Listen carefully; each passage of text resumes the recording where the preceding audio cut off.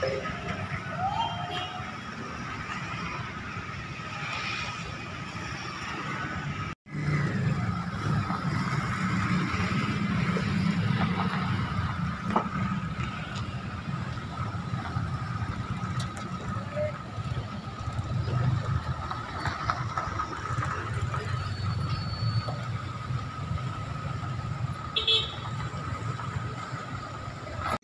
ada itu mah.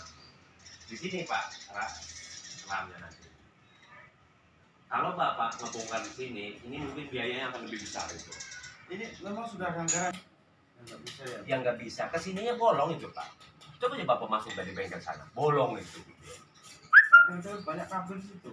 Kabelnya. Persoalannya kita ini setiap tahun itu wajib eh, antisipasi jalan untuk menanggulangi masalah banjir. Namun adanya peninggian jalan, Pak, itu sangat eh, tidak berkenan warga karena nyelamatin jalan tidak menyelamatkan masalah eh, penanganan keban- banjirnya ini, Pak. Jadi solusinya Jadi harusnya solusinya benahin dulu eh, drainase, kemudian oke tinggiin jalan. Nggak bisa keluar, nambah lagi di sini nanti gitu.